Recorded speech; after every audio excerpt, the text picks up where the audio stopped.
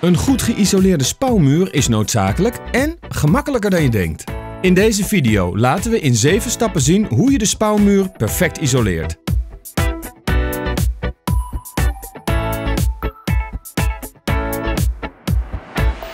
Plaats de isolatie strak tegen het binnenspouwblad. Zo voorkom je een valse luchtspouw achter de isolatieplaat. Deze kan de uiteindelijke isolatiewaarde halveren. Laat de isolatieplaat bij de hoek van het binnenspouwblad doorsteken ter dikte van de isolatieplaat. Zet de andere isolatieplaat hier strak tegenaan en zet beide isolatieplaten vast met hoekstrippen.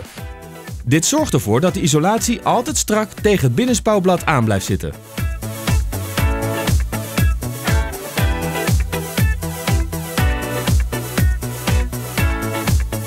Plaats de isolatieplaten strak tegen elkaar aan.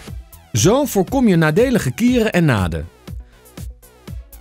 Een naad van slechts 2 mm rondom de isolatie vermindert de isolatiewaarde met 36%.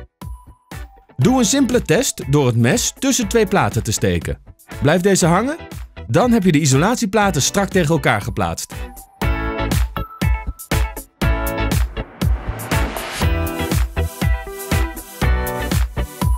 Bij kozijnen is het extra opletten. Bij het isoleren rondom een kozijn loop je namelijk snel het risico op kieren en naden. Voorkom dit door de isolatieplaat met 5 tot 10 mm overmaat te snijden. Zo kun je de plaat goed klemmend tegen het kozijn aanbrengen. Met glaswol is het niet nodig om peur te gebruiken rondom een kozijn. Glaswol vormt zich ook eenvoudig om kozijnankers en voorkomt daarmee een valse luchtspouw.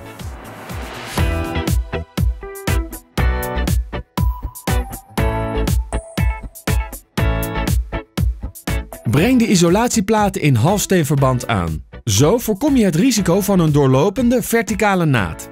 Gebruik minimaal 4 spouwankers per isolatieplaat en plaats deze circa 10 tot 20 cm vanuit de hoeken.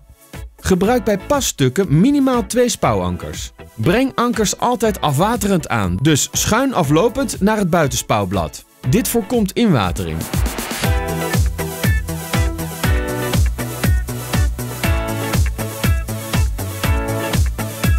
Zorg ervoor dat in de luchtspouw minimaal 20 mm vrije ruimte overblijft, dus vrij van speciebaarden.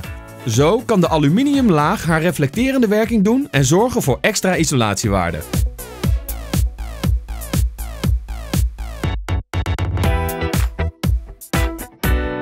Verwijder eventuele valspecie op de isolatieplaat. Zo zorg je voor een optimale aansluiting tussen de isolatieplaten en voorkom je naden en kieren.